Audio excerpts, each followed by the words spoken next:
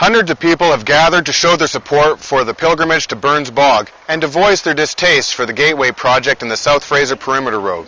Having already destroyed hundreds of acres of Canada's most fertile farmland, they are concerned the construction of the South Fraser Perimeter Road is going to damage or destroy a large section of the lungs of the lower mainland, a name given to the bog because of its ability to absorb tremendous amounts of carbon.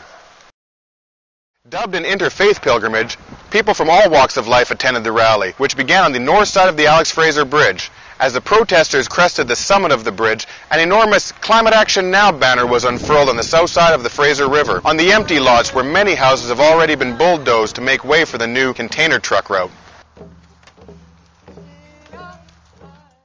After the, the property, most of the bog was bought, that uh, it would be safe. But then South Fraser Perimeter Road came along and it's not safe. Uh, so we decided to start up a combination of helping people fall in love with the bog, and we figure if you fall in love with it, then you'll protect it. And that's what people are out this here today. Bog. Why do they want to develop this bog? Why, what, what's all this all really about?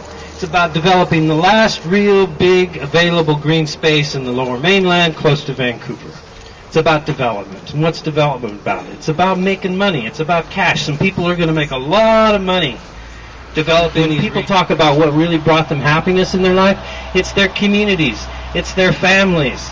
It's the time they got to spend with their children or with their grandparents. Our democracy has been hijacked. It's been hijacked by money and business. And democracy is a verb.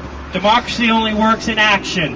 Democracy isn't going out and casting a vote every four or five years.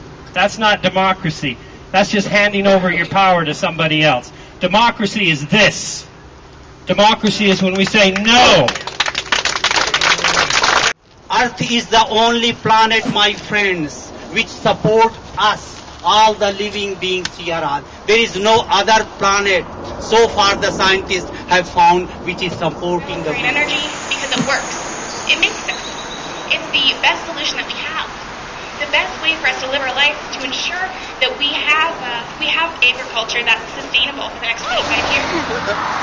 Not called the lungs of the lower mainland for nothing. Mean, if this is a carbon sink, this recycles carbon dioxide into oxygen. We need this for all of our health. Um, and it's also a precious archaeological site. The thing has been in the works coming along for 40 years, 20 years, 5 years, and the reasons for it have kept changing. Um, but why it's being pushed, I think it's like an empty freight train at this point. It doesn't make any sense anymore economically or in any other way. Feeling right now that what the government really needs to stop this is a good excuse to stop it, to back out without save and save face, because it doesn't make sense for anyone anymore. This is Elvis Glazier reporting live from Burns Bog, here for the Delta Free Press TV.